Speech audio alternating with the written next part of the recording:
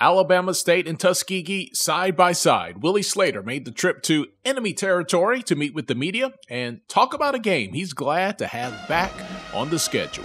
I lived in a hometown of uh, Alabama State and Tuskegee fans, so I've been hearing it all my life. So I guess that's what makes it great. I mean, those fans, those fans just absolutely love those team teams playing. And this game may mean more than it ever has. The excitement could parlay, see what I did there, into a $1 million gate. Like, for real, for real.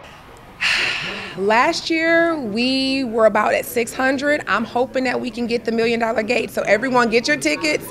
Help me hit my goal. So don't be last minute with this one. You could be left out. Oh, we have exceeded our uh, single game ticket sales for Tuskegee by about $50,000 from compared to last year. Last year we had a lot of walk ups and we end up getting to capacity. Coach Ely would love to open up with a D2 tune up game like some programs do, but he knows this is closer to the Super Bowl. Right out the blocks. Right out the blocks. We would love to be able to get a team in and fine tune, but that's not the case. So we got to be prepared. And, uh, and uh, to have a game with such uh, as much weight as this game right off the bat, uh, you know, this game either uh, makes or breaks a lot of seasons if you don't handle it right. And despite the litany of activities surrounding this game, each team is focused on the one thing that matters the most.